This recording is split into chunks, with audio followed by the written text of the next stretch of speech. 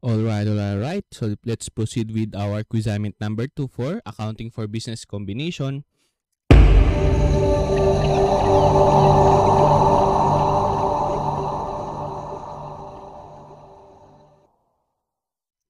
Ah, topic business combination part 2. So, ah basically diretso na tayo sa problem solving kaya madali na lang tong ano, itong true or false na to, 'di ba? Given naman dito. So, no sweat na yan sa inyo, di ba? Oh, ang problem 2, true or false rin, madali rin and mostly solving to sila eh, ba? Oh, itong mga additional ano information, etc., etc. Diba? Okay, goods na yan. Let's proceed to the problem solving. Problem 4 exercises. Mag-exercise tayo. Number 1. So, ha, sipon. So, uh, entity A and entity B exchange equity interest resulting to entity A obtaining control over entity B. So, relevant information follows. So, ito, klarong-klaro, ang ginamit na pambayad ni entity A, being the acquirer, kay entity B is yung kanyang shares mismo. Kaya nagkaroon ng exchange in equity interest. Shares yung kanyang, kanyang pinambayad. So, ito yung relevant information. Si ABC ko, before the combination, si entity A yan, before niya kinain si entity B, So, itong identifiable asset, wala pang goodwill, liabilities, share, share premium, retained earnings, total liabilities and equity. Ngayon, nung kinumbine na, nung kinain na ni entity A si entity B, yun, combined entity na sila, yung identifiable assets, 3.6. Goodwill, wala.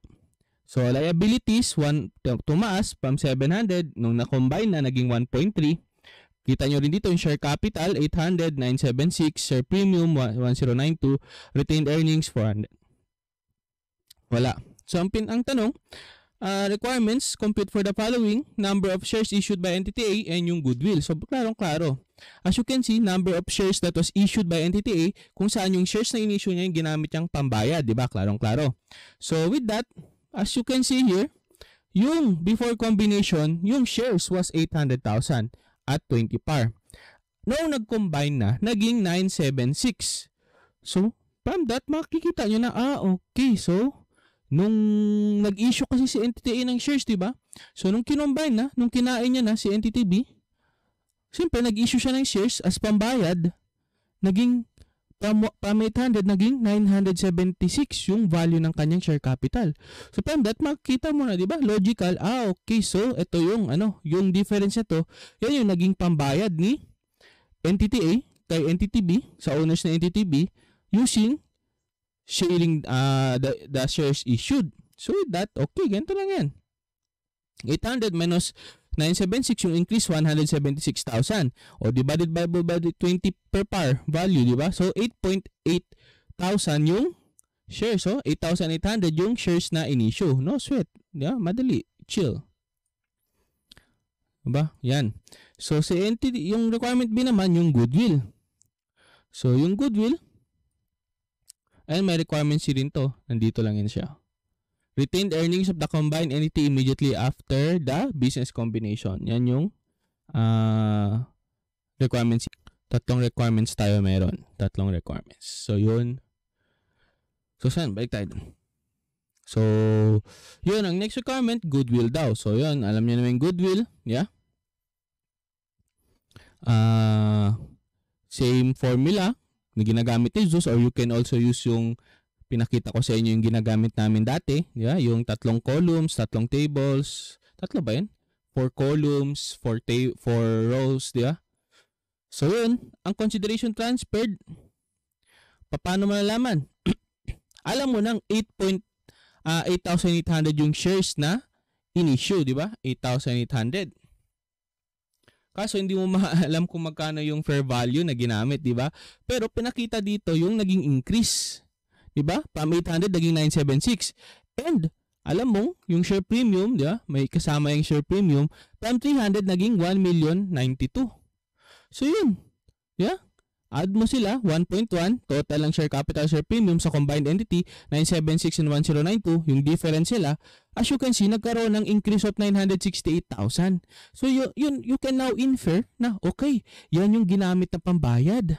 968,000, yan yung consideration transferred ng shares, di ba? So yun, consideration transferred, 968. Wala tayong NCI, wala tayong previously held, So yun, total fair value of net identifiable assets acquired. Uh, dito yung sa baba. As you can see, same rin yung logic, same rin yung follow nyo dito. Identifiable asset before combination 2.2. Nung nag-combine, 3.6 na. So nagkaroon ng increase of 1.4. Sa liability, same rin, 700 before combination, 1.3. Nung nag-combine na, nagkaroon ng increase of 600. So, anong logic mo dyan? Anong reasoning mo dyan? Di ba? Saan ang galing ang 1.4 increase? Saan ang galing ang 600 increase? Eh di kay entity B yan galing, yeah? nung kinain ni entity A, nung inacquire ni entity A si entity B. Siyempre, mag-increase yan. So, itong 1.4, itong sa identifiable assets, eh yung 600 sa liabilities, you can infer na, okay, galing yan kay entity B. So, yun, fair value of net identifiable assets acquired, di ba? Net, 800. So, yan. So, goodwill, 168. Yun, may goodwill ka na, 168. Ngayon naman, ang requirements for C is that, anong retained earnings, di ba? Anong retained earnings? Dito nakalagay. So, paano yung masasolve? Eh, di-add mo lang siya, no? Yeah? 3.6 plus yung goodwill, 168. Okay. Saan ang calculate natin? 36 plus 168. Yun, 3768 dito. Di ba? 3768 yung total assets. Eh, alam mo naman kung anong total assets dito, yun yung total liabilities and equity. So, lagay mo si 3768 dito. Okay, work back. So, minus mo sa 1.3, sa 976, sa 1092. Okay, 400 dito. Oh, matic. So, 400. No sweat. Let's proceed to number 2. So, number 2.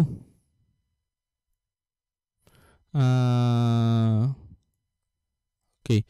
So, ano kay number 2? Ah. So, tanong number 2. On situation on January 1, 2000X1, Si Roku acquired 10,000 out of the 100,000 outstanding shares of both co for 30,000.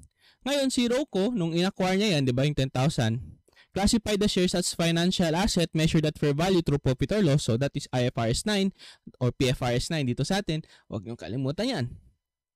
So with that, since financial asset measured at fair value through profit or loss, the shares were trading at 5 pesos on December 31, 2001. So alam mo nang ang ano niyan, value niyan as of December 2, 2001 is 5 pesos times 10. So 50,000 na yun by that time. Kahit na nakawire niya for 30,000.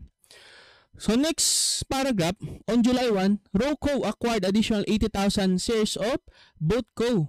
So alam mo nang nangyari yan, nagkaroon ng step acquisition. So magkakaroon ng previously held interest. Yeah? kung saan nakuha niya yung 80k at 8 pers at 8 per 8 pesos per share which is the quoted price on that date. So alam yan yung gagamitin mo.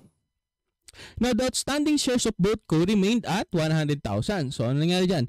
Una, 10,000. Then, nag-acquire siya ng additional 80,000. So, ang total ang pagmamayari niya sa shares ni Boatco, si Roco, ang total na pagmamayari niya, ownership niya sa shares ni Boatco is 90,000 shares na out of the 100,000. So, that is 90%. So both coast net identifiable assets have a fair value of 665. Okay, binigay na yung FBNA natin. So ROCO elected to measure the NCI at proportionate share. So times mo lang sa percentage ng NCI. Yeah? So requirements, compute for goodwill and provide for the journal entries. So yun, basic. Madali na lang. So Okay, goodwill. Consideration transferred. 80,000 given naman. Pla times the 8 per 8 pesos which is the quoted price on that date. So, yan yung fair value at that date. So, that is 640,000. Ba? Ngayon, ay, wala naman ako nag-hey Google. Ba't nag-activate?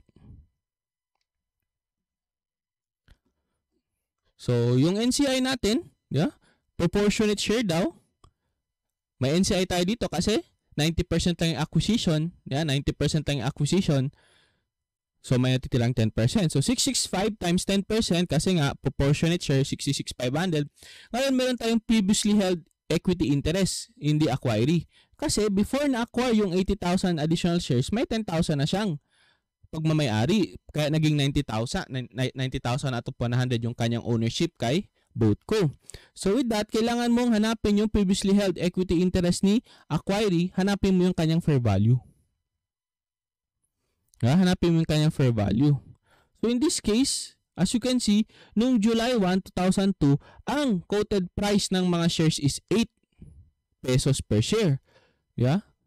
So, and with that, 10,000 yung kanyang previously held equity interest. So, with that, oh, 10,000 times 8 lang. So, yun. Fair value ng previously held equity, equity, equity interest. So, yung total is 786,500 minus mo na sa FBNA, given naman. So, yung goodwill is, yeah, 121,500. 121,500. So, let's go to requirement B. Provide the journal entries. So sa journal entries, uh, kailan nag-acquire? July, on July, may specific date, on July 1, 2002, 1000X2. So investment in subsidiary, yung 80,000 shares times 8, so ito. And paid in cash, so ito, 640. Ngayon, siyempre nagkaroon ng ano eh, reclassification eh. Nagkaroon ng remeasurement. Bakit? Meron kang previously held interest. Na kung saan, it was First, classified as financial asset measured at fair value through profit or loss under PFRS 9. Eh ngayon, since nagkaroon na ng business combination, it is under IFRS 3 na or PFRS 3, hindi na PFRS 9. So nagkaroon ng reclassification. But before you reclassify that, you must first remeasure it. Paano naging mag-remeasure siya? Kasi tingnan mo, on December 31, 2001 siya, 5 pesos per share lang siya. Yeah? Pagdating ng acquisition date, naging 8 pesos per share na. So, nagkaroon ng increase.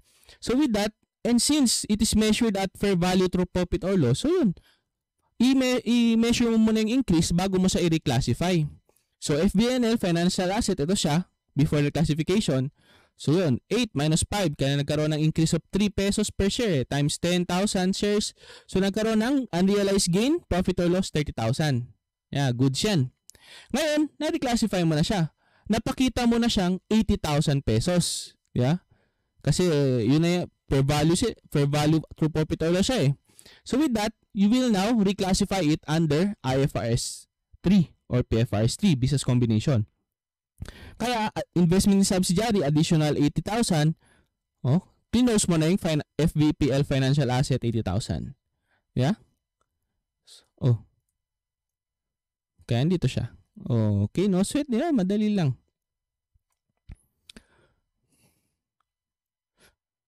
Let's go to number 3. So, si number 3, on November 1, 2001, 2000X1, NTTA acquired all the assets and liabilities of NTTB for 1.8. So, yung consideration transferred. On this date, NTTB's assets and liabilities were valued at 2.6 and 900 respectively. The assets acquired include a trademark which was assigned a provisional amount of 300,000 because the fair value was not readily obtained at acquisition date. So, provisional amount to.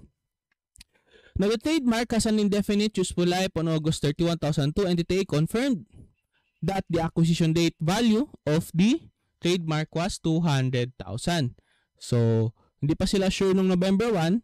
Ngayon, nung, Oct- nung August 31 the next year, sure na sila na 200,000 lang yung value ng trademark, hindi 300,000. So, ang tinatanong, compute for the unadjusted and adjusted goodwill. So, basic, 1.8, wala tayong NCI for provisional. Yeah, kasi hindi pa tayo sure sa value ng trademark. So, 1.8. To, wala tayong NCI, wala tayong PHI. Fair value of net identifiable asset given naman 2.6 minus 900. So yung goodwill natin as of provisional as of November 1, 2001 is 100. Ngayon, nung August 31 nalaman na yung value ng ng trademark. So, adjusted mo. Adjust mo na. So, 1.8 same consideration pa rin. Total, same 1.8. Ngayon, yung fair value of net, net identifiable asset mo, mababawasan na ng 100,000. Bakit? Kasi oh, the assets acquired include a trademark which was assigned a provisional amount of 300. Yun pala, pagka August 31, 200 lang pala. 200 lang pala. So, yun, bawas yun. Pa 1.7, naging 1.6 na lang yung FBNA mo. So, yung goodwill mo tumaas, naging 100, naging 200 na. So yan na, ang unadjusted goodwill, provisional 100, ang adjusted is 200. And provide the journal entry, yun, nagkaroon ng increase sa goodwill kasi from 100 naging 200 na siya and nagkaroon ng decrease, decrease sa value ni trademark kasi from being recorded as 300, 200 lang pala siya. So, yun. Let's go to number 4.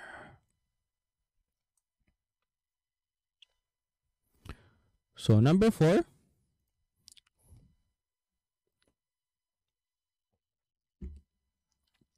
On January 1, 2001, NDTA acquired all the assets and liabilities of NDTB for 2.2. So, yung consideration. XYZ's assets and liabilities have fair value of 3.6 and 1.8. So, 3.6, 1.8, 1.8 yung kanyang FVNA respectively. So, 2.2 yung consideration. So, let's go to the additional information. Entity A is the exclusive distributor of Entity B's products. The distributorship agreement has a remaining term of 5 years. Entity A yung ano ah, yung acquirer. So, uh, has a remaining term of 5 years. The contract does not have any cancellation clause. So, the distributorship contract has a fair value of 360,000. Kung saan yung 170 dyan, 170,000 dyan is at market. So, walang problema dyan. However, the off-market component, ibig sabihin yung 190,000 out of the 360, kasi 170 lang yung at market, yung off-market component is unfavorable to entity A, the acquirer, but favorable to entity B, the acquiring. Excuse me po. Sarap ng durian. So, no assets or liabilities related to the contract were recognized in either of entity A's or entity B's books at the acquisition date. So, ang tanong, Compute for the, uh, ang requirements pala, compute for the gain or loss on the settlement of the pre-existing relationship, provide a journal entry. And letter B, compute for the goodwill. So ano to? Pinapakita dito anong effect niya sa business combination.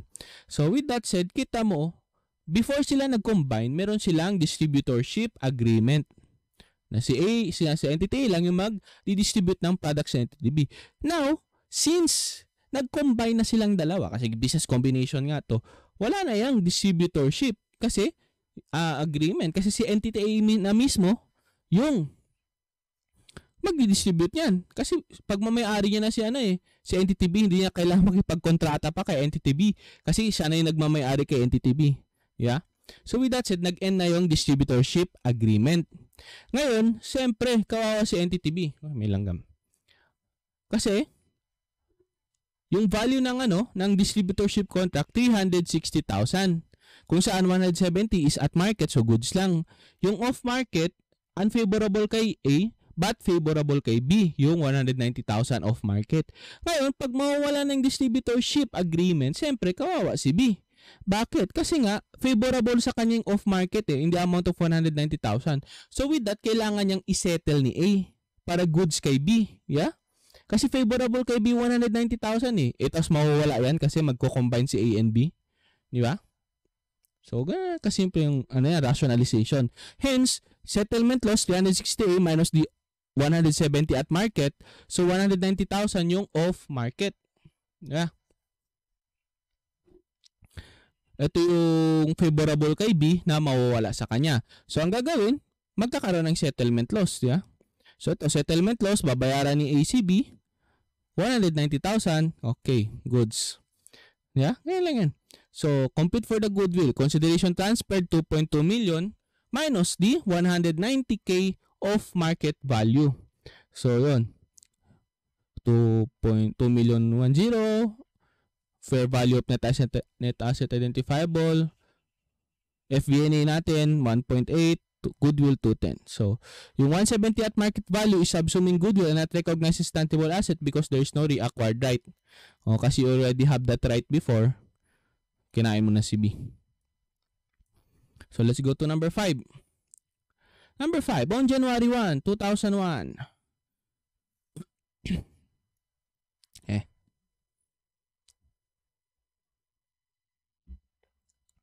On January 1, 2001, uh, Entity A acquires 100% interest in Entity B in exchange for Entity A's 10,000 shares with par value per share of 20 and fair value per share of 200. So, ito ang pinambayad ni Entity A sa shares ni Entity B is kanyang sariling shares. Nagkaroon ng equity, uh, equity transaction, di ba? Kung saan ang pinambayad ni Entity A is 10,000 shares na may par, va- per, um, ma, na may par value of 20 kung saan yung fair value is 200.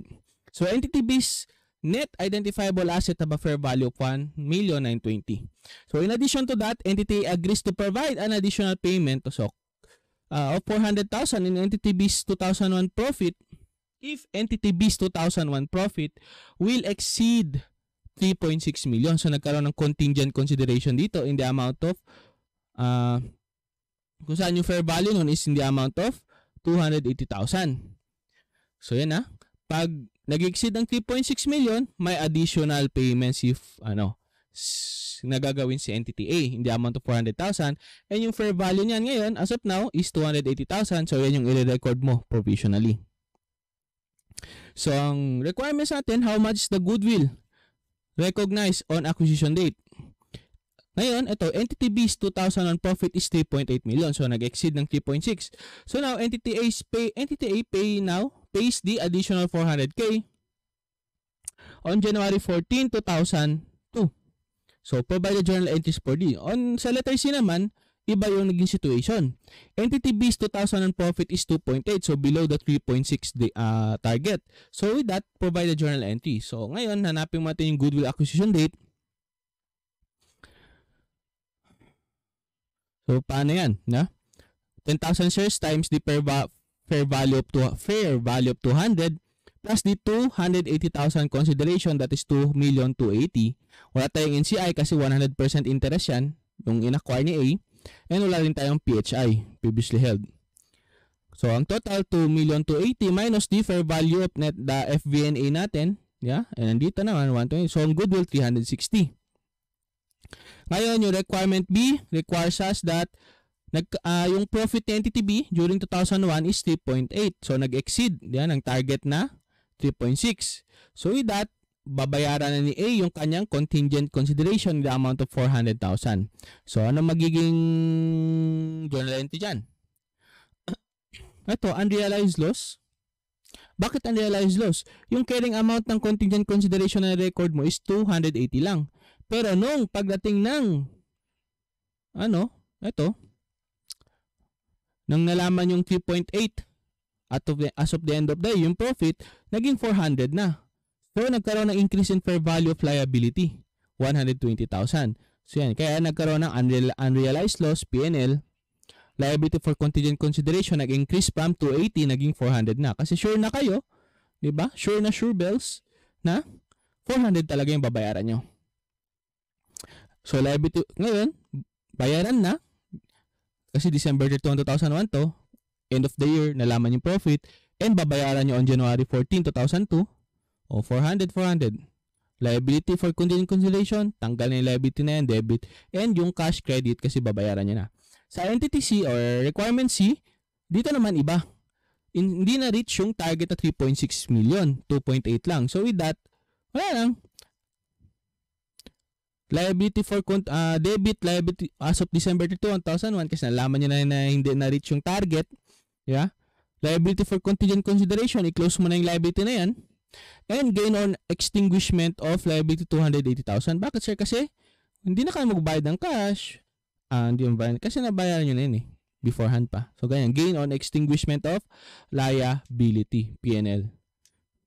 Kasi na already, it was already ano eh, paid beforehand pa lang. Na-record na siya. Dito kasi, nagkaroon ng changes. So, with that, let's proceed to the next one. Mag multiple choice over tayo. Mahaba kasi multiple choice eh. Pero basic lang naman to. Sa discussion din naman to eh. But here are the answers of the multiple choice. Hmm. Oh, dito lang yung answer ng multiple choice. Basic lang yan sila. Nasa discussion naman yun. So, let's proceed to problem 6. Multiple choice, pero computational na. So, yun. Kung may questions man kayo doon sa theories natin, sa true or false part uh, problem 1 and 2, and sa dito, problem 5, multiple choice theory, sa mga theory questions, don't hesitate to chat me sa Teams. Walang problema yan kung may questions kayo kung may hindi kayo na-gets or clarification. Anyway, problem 6, multiple choice, computational naman. So ito, use the following information for the next two question. Burns Co. issued 20,000 ordinary shares in exchange for all the outstanding shares of Saying Co. on acquisition date. Saying Co's net identifiable asset have a carrying amount of 4 million pero yung fair value is 2 million. So alam niyo na yung gagamitin dyan. The transaction increased Burns, uh, Burns si acquirer, Burns share premium by 400,000. However, walang goodwill na nag-result from, the, from this business combination. So first question, how much is acquisition date? Fair value per share of the ordinary shares issued by Burns. So magkano daw yung fair value ng shares na pinambayad ni Burns ko yung 20,000. Paano malalaman? Basic. Ang sabi walang goodwill. Yeah? Ang sabi walang goodwill na na nag-result from the business combination. So, ayun, walang goodwill. So, ito, dito ka mag-start. And yung fair value ng, ng yung FBNA natin, provided naman dito, yung 2 million. Yeah? So 2 million, lagay mo dito. So alam mo nang walang goodwill na result. So zero dapat amount dito. So alam mong 2 million din dito. So yan, parang nag-work back ka lang. So alam mong yung consideration, yung squeeze, yeah? consideration transferred is 2 million peso. And alam mo ng consideration transferred is 2 million peso for 20,000 shares. So 2 million Divided by 20,000 shares, that's 100 pesos per share. Okay, so letter D. Ang next question is, how much par value is par value per share of Burns ordinary shares? So automatic ba na 100 yun? Hindi. Kasi tingnan mo, meron kang share premium na nag-result from the transaction. No? The transaction increase Burns share premium of 400,000. So meaning, out of that 2 million consideration, 400,000 dyan is share premium. Yung 1.6 is the share capital. So with that, minus mo lang. 2 million minus the 400. So 1.6 million yung share capital. So 1.6 million divided by 20,000 shares na in-issue. So ang tamang answer is yeah, 80,000. So that is letter C. Uh, goods. Uh, 80,000, 80 pesos per share yung uh, per, uh, par value niya. Let's go to number 3. Sa number 3 naman, point ko. Uh, issued shares in exchange for all the outstanding shares of finger ko. the business com- so si point ko ang ano, ang acquirer si finger ko ang ang acquiree. So the business combination did not result to any goodwill. So wala ring goodwill dito. So the share exchange ratio was 2 is to 1. So for every shares, 'di ba? Kasi nangyari dito this equity exchange lang, 'di ba? Para ma-acquire ni point ko yung share yung uh, para ma-acquire ni point ko si finger ko, ba? Kailangan niya mag-issue ng shares. So nagkaroon ng equity exchange lang, 'di ba? So yung share exchange na to, ratio is 2 is to 1. So meaning for each share na meron si finger ko, kailangan mag-issue ng dalawang shares ni point ko. Ulitin natin, 2 is to 1. For each share na meron si finger ko, kailangan mag-issue ni point ko ng dalawang shares. Kaya nga 2 is to 1. 2 shares para pa point ko for every one share ni finger ko. Yeah. Finger share capital has a carrying amount of 40,000. The par value per share is 4. Yeah. So, finger, alam mo na, yeah? Kasi 40,000 daw yung ano, share, share capital. Tapos yung par value, di ba, ng per share ni finger is 4 peso. So, divide mo lang sa 40 para sa yung 40k sa 4. Alam mo na kung ilang shares na meron. Yeah, outstanding.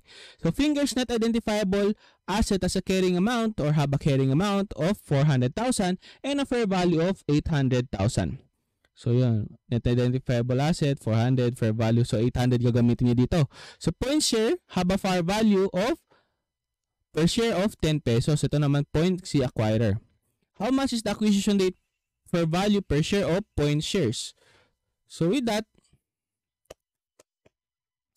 diba, nasabi natin kanina yung 2 is to 1 ratio. And since sinabi dito, si Finger, yung acquiree, meron siyang share capital 40k par value per share 4. So alam mo, divide mo lang yan. Yeah? So alam mo, 10k yung kanyang shares. And since 2 is to 1, for each share na meron si Finger ko, si point ko mag issue ng dalawa. So kaya, yung number of shares issued by point is 20k. Yeah? Uh, so, ang pinapahanap sa atin, how much is the acquisition date fair value of uh, per share of point share. So, yun. So, hanapin mo muna yung consideration transferred kasi diyan mo madidivide, di ba? So, yun. Goodwill, wala tayong goodwill. Sinabi, oh, did not result into goodwill. So, yun. So, work, work back ring, work up. So, 800K yung fair value ng FBNA natin. So, since walang goodwill, 800 yan dito. Wala tayong PHI, wala tayong NCI, kasi all the outstanding. So, 800, squeeze. So, 800 yung consideration transferred. Then, yung inisyong shares ni point ko is 20K. So, yun. 800 divided by 20. So, yung fair value per share ni point ko as of the acquisition date is 40k. Ah, is 40. So that is letter B. So let's go to number 4. So number 4, number 4. So on January 1, 2001, uh, si Overco acquired 10,000 out of the 100,000 outstanding shares of Cisco for 30,000. Transaction cost on the acquisition amounted to 2,000 pesos. So, expense yan. Overco, si acquirer, classified the shares as held for trading. So, parang familiar to sa isang problem, di ba? The shares were trading at 5 pesos per share at 5 pesos on December 2001. Ngayon, on July 1, 2002, the next year, Overco acquired additional 50,000 shares of Cisco at 7 pesos per share. So that is an ste a step acquisition. Uh, yung 7 pesos per share, yung quoted price on that date, so yung gagamitin. So the outstanding shares of Cisco remained at 100,000. So 10K plus 50K shares, so 60% yung ownership ni Overco. So si Cisco, net identifiable assets have a fair value of 665 100,000 as of this date. So Overco elected to measure NCI using the proportionate share method. How much is the goodwill? So similar siya dito sa problem na to, di ba? Sana yun? Siya problem na yun.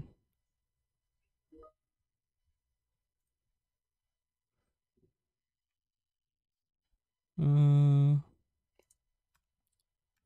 problem yung similar. Step acquisition.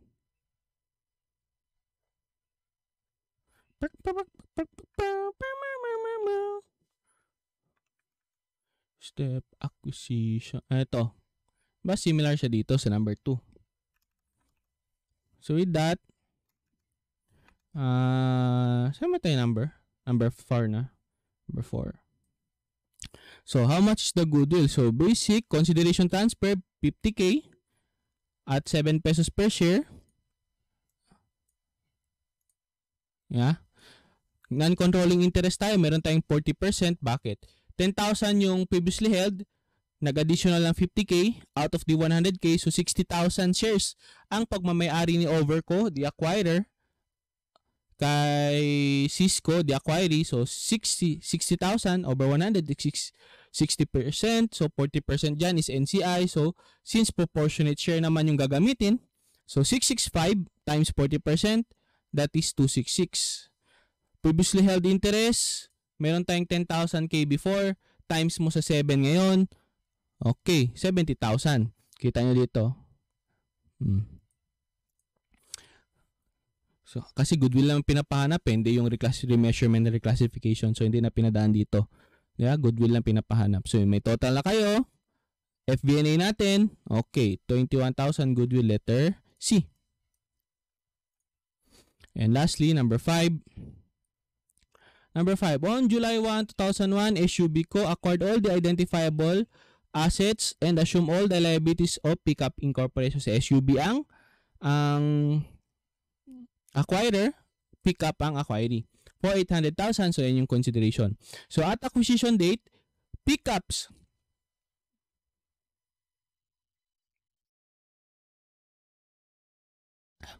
Pickups, identifiable assets and liabilities have a fair value of 1.2 and 300. So, 900 yung FBNA natin sa start.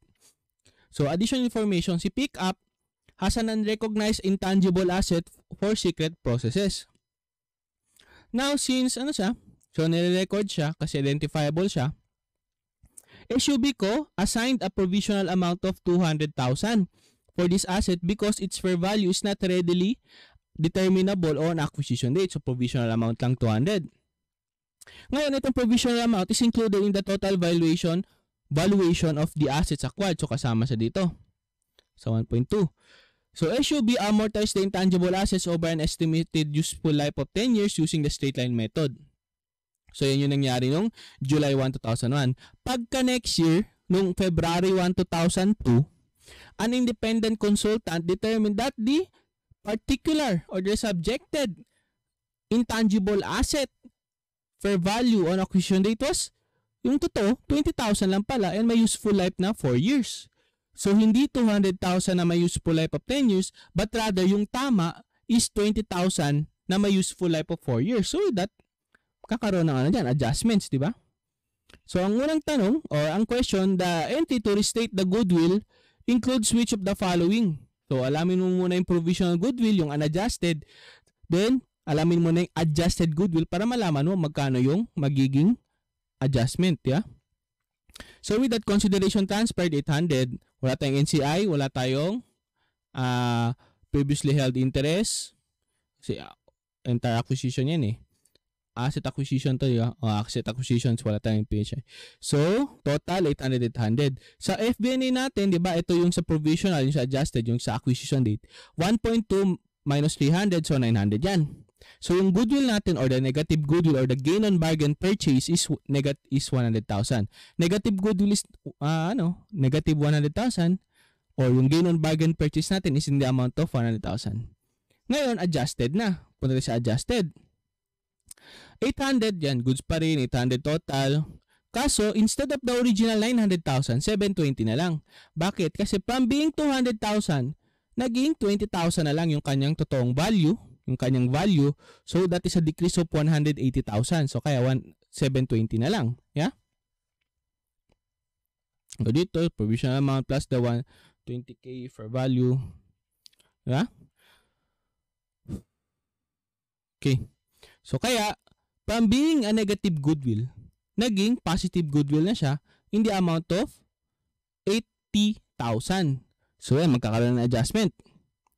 So, on February 1, 2002, nung nalaman na yung totoong value ng, ano, ng intangible asset na to, goodwill, nagkaroon ng increase of 80,000, debit, intangible asset, di ba, nag-decrease from being 200, naging 20,000 lang yung value niya, so credit of 180. Ngayon itong retained earnings saan niyang galing? Kasi itong negative goodwill or yung gain on bargain purchase, nire-recognize yan sa profit or loss for the year. Yan, nire-recognize yan as profit or loss for the year. E saan mo kino-close ang profit or loss mo? 'di ba sa retained earnings? So, since retained earnings na siya nakalagay and since nagkaroon ng adjustment, yung retained earnings na yung i-adjust mo.